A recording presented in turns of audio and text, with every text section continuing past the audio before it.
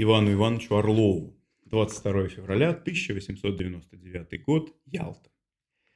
Здравствуйте, милый Иван Иванович. Ваш приятель Крутовский был у меня. Мы поговорили о французах, о Панаме, но ввести его, как вы желали, в кружок ялтинских знакомых я не успел, так как он, поговоривший о политике, ушел к шарманкам.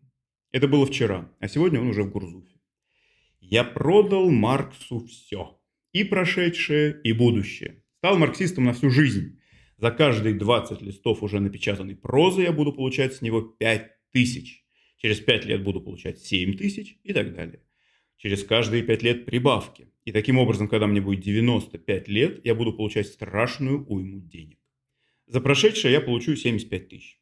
Доход с пьес я выторговал себе и своим наследникам. Но все-таки, увы, мне еще далеко до Вандербильта. 25 тысяч уже тю-тю, а остальные 50 я получу не сразу а в течение двух лет, так что не смогу задать настоящий шик. Новостей особенно никаких. Пишу очень мало. В будущем сезоне пьеса моя, раньше в столицах не шедшая, пойдет на малом театре. Доходишь-ка, как видите. Дом мой в Аутке почти еще не начинался благодаря сырой погоде, которая продолжалась почти весь январь-февраль. Придется уехать, не дождавшись конца постройки. Мой кучукойский майонез, так Пастухов, издатель московского листка, называет майорат, очарователен, но почти недоступен. Мечтаю выстроить там домик подешевле, но по-европейски, чтобы проводить там время и зимою. Теперешний двухэтажный домик годен только для летнего жития. Моя телеграмма насчет чертова острова не предназначалась для печати. Это совершенно частная телеграмма. В Ялте она вызвала ропот негодования. Один из здешних сторожилов, академик Кондаков, по поводу этой телеграммы сказал мне, «Мне обидно и досадно». Что такое, изумился я.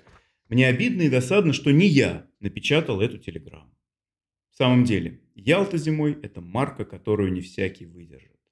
Скука, сплетни, интриги и самая бесстыдная клевета. Альшулеру приходится кисло на первых порах. Многоуважаемые товарищи сплетничают про него неистово. В вашем письме текст из Писания. На ваше сетование относительно гувернера и всяких неудач я отвечу тоже текстом. Не надейся на князи и сыны человеческие. И напомню еще одно выражение, касающееся сынов человеческих тем, тех самых, которые так мешают жить вам. Сыны века. Не гувернер, а вся интеллигенция виновата. Вся, сударь мой. Пока это еще студенты и курсистки, это честный, хороший народ. Это надежда наша, это будущее России. Но стоит только студентам и курсисткам выйти самостоятельно на дорогу, стать взрослыми, как и надежда наша, и будущее России обращается в дым. И остаются на фильтре одни доктора, дочевладельцы – несытые чиновники, ворующие инженеры. Вспомните, что Катков, Победоносцев, Вышнеградский – это питомцы университетов, это наши профессора, отнюдь не бурбоны, а профессора, светила. Я не верю в нашу интеллигенцию. Лицемерную, фальшивую, истеричную, невоспитанную, ленивую. Не верю даже, когда она страдает и жалуется, ибо ее притеснители выходят из ее же недр. Я верую в отдельных людей, я вижу спасение в отдельных личностях, разбросанных по всей России там и сям. Интеллигенты они или мужики, в них сила, хотя их и мало.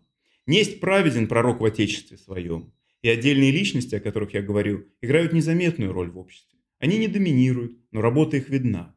Что бы там ни было, наука все продвигается вперед и вперед, общественное самосознание нарастает, нравственный вопрос начинают приобретать беспокойный характер и так далее, и так далее.